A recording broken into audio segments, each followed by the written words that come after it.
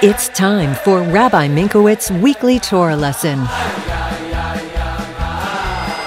Here with his spiritual perspective and insight, Rabbi Minkowicz.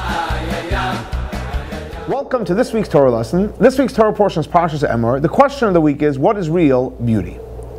So in this week's Torah portion, Parshas Emor, the Torah begins, Emor al Kohanim, you should speak to the Kohanim, v'amarta aleihem. So Rashi asks, why did it say twice Emor? So Rashi explains, one is to instruct the priest, and the second that the priest should instruct their children.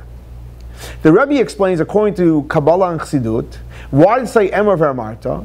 One is that the adults should educate the children, and once the adults educate the children, then the children come back and educate the adults. As it says in the prophets, that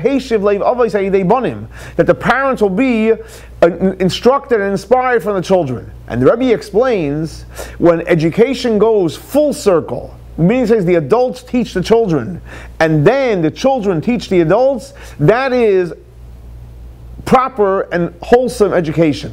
So the answer to the question, what is real beauty? Real beauty is when a process goes full circle, when the adults educate the children and the children educate the adults as well. This week's Torah class is dedicated to the memory of Baruch ben Ari Leib, Shlomo ben Yosef, and Rachel Baslipa. May their souls be elevated by the Torah that we're studying in their memory. Thanks so much for joining us for our weekly Torah lesson. For more information, please see our website.